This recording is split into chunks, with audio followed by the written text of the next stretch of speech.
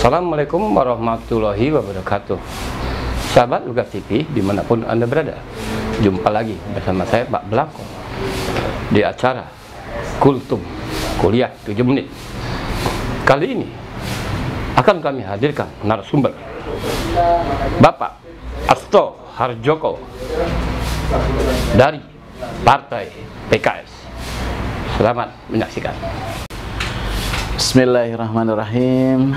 Assalamualaikum warahmatullahi wabarakatuh. Alhamdulillahi rabbil alamin. Assalatu wassalamu ala asrafil anbiya Wal mursalin wa ala alihi wa ashabi ajma'in.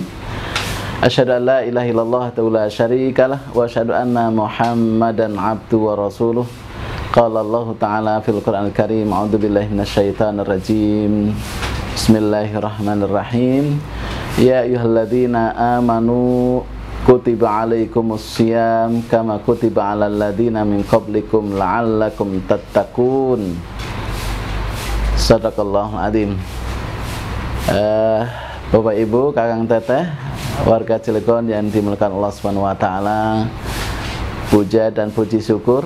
Mari kita senantiasa panjatkan kepada Allah Subhanahu wa taala atas segala nikmat yang Allah berikan kepada kita kita tidak terasa diberikan nikmat untuk bertemu dengan Ramadan 1443 Hijriah yang tentu saja kita harus mensyukuri dengan mengisinya seluruh rangkaian ibadah dengan penuh kesenangan, penuh kegembiraan. Karena kita berharap ketika Allah Subhanahu wa taala memberikan kesempatan kita bertemu kita menjadi orang-orang yang bertakwa, orang-orang yang bertakin. Salam dan salam semoga senantiasa tercurah kepada junjungan kita Nabi Muhammad sallallahu alaihi wasallam serta keluarga, sahabat dan seluruh umat yang mengikuti sunnah beliau sampai akhir zaman. Bapak Ibu rahimakumullah, Kakang Teteh warga Cilegon yang dimuliakan Allah Subhanahu wa taala. Kesempatan Ramadan adalah kesempatan yang luar biasa yang harus kita manfaatkan untuk memenuhi kebutuhan ruh kita. Karena kita tahu ketika Allah Subhanahu wa taala berfirman di dalam surat An-Nisa ayat 9, A'udzu billahi minasyaitonir rajim wal yakhshal ladzina law taraku min khalfihim dzurriyyatan di'afa khafu 'alaihim wal yattaqullah wal yaqulu qawlan sadida. Dan hendaklah mereka takut orang-orang yang meninggalkan di belakang mereka anak-anak mereka apabila lemah ya wal yattaqullah wal yaqulu qawlan sadida karena itu bertakwalah kepada Allah dan berkatalah yang baik qawlan sadida perkataan yang membekas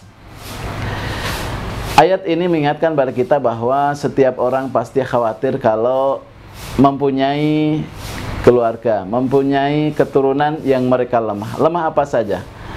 Di dalam diri kita, dalam setiap manusia ada potensi fisik, ada potensi akal, ada potensi ruh.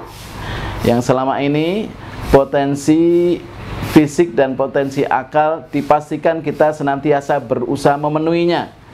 Ya, potensi fisik adalah diri kita, yang dia membutuhkan makanan, ya, ada nasi, ada lauk pauk dan berbagai hal yang memang bentuk fisik yang memastikan agar fisik kita bisa bertumbuh baik dan setiap kita bahkan orang tua kita berusaha untuk memastikan fisik kita kebutuhannya terpenuhi. Kemudian dalam diri kita juga ada kebutuhan akal. Akal itu butuhnya adalah ilmu pengetahuan. Dan alhamdulillah orang tua kita mereka berusaha untuk memastikan bahwa kita melewati usia kita memenuhi seluruh kebutuhan akal kita dengan pendidikan yang diberikan pada kita sampai kita mungkin ya kuliah S1, S2 atau bahkan sampai yang S3. Inilah kebutuhan akal. Dan setiap orang tua dipastikan mereka memastikan usia ketika usia anak sudah memenuhi untuk masuk sekolah, maka biaya-biayanya dipastikan berusaha dengan maksimal agar terpenuhi. Dan dua hal tadi, baik fisik atau akal, dipastikan setiap kita berusaha maksimal untuk memenuhinya. Nah, terakhir yaitu kebutuhan ruh. Apa sih kebutuhan ruh? Kebutuhan ruh adalah mengingat Allah, berzikir kepada Allah Subhanahu wa taala. Dan di Ramadan adalah kesempatan yang sangat baik kita untuk memenuhi kebutuhan ruh sehingga seluruh rangkaian Ramadan sejak ya kita mungkin bangun sahur ya diajarkan kita untuk banyak bermunajat, memohon ampun kepada Allah Subhanahu wa taala, kemudian bangun sahur, kemudian kita menahan diri dari pagi sampai sore, bahkan aktivitas kita dari pagi sore itu hendaknya kita senantiasa bermunajat kepada Allah Subhanahu wa taala ya. Kemudian menjelang berbuka kita banyak juga berdoa kepada Allah Subhanahu wa taala dilanjutkan dengan salat sampai kemudian salat tarawih itu semuanya rangkaian yang orientasinya adalah agar kebutuhan ruh kita terpenuhi. Dan kebutuhan ruh yang paling utama adalah membaca Al-Qur'an. Kita juga tahu bahwa Al-Qur'an ya diturunkan di bulan Ramadan sebagaimana Allah ingatkan ya dalam surat Al-Baqarah ayat 185 Syahrul Ramadan alladzi unzila fihil Qur'an hudal linnas wa bayyinati minal huda wal furqan. Ya. Bulan Ramadan inilah Allah turunkan Al-Qur'an ya sebagai petunjuk manusia.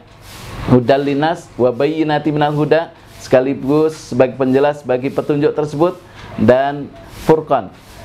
Ya pembeda jadi siapa pun yang berinteraksi dengan ayat-ayat Allah Subhanahu wa taala Allah mampukan dia untuk senantiasa memilah dan memilih mana yang hendaknya diikuti mana yang tidak.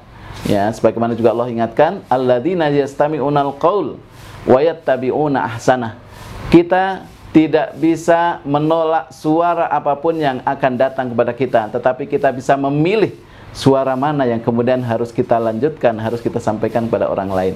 Dan Ramadan adalah momentum kita betul-betul memenuhi kebutuhan roh kita, maka pastikan masih banyak hari-hari Ramadan yang akan kita nikmati, kita isi dengan banyak membaca Al-Qur'an, ya, tilawah, ya, dan sebagaimana Rasulullah SAW di bulan Ramadan kesempatan beliau untuk memurajaah begitu juga para sahabat, para tabiin, tabiin mereka mengisi waktu-waktu Ramadan dengan banyak membaca ayat-ayat Allah Subhanahu wa taala.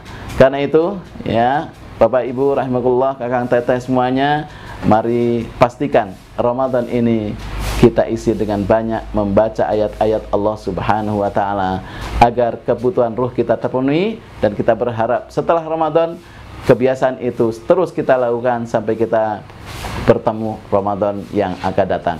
Terima kasih, semoga nasihat ini bermanfaat bagi saya pribadi, bagi Bapak Ibu semuanya. Saya kiri, Assalamualaikum warahmatullahi wabarakatuh.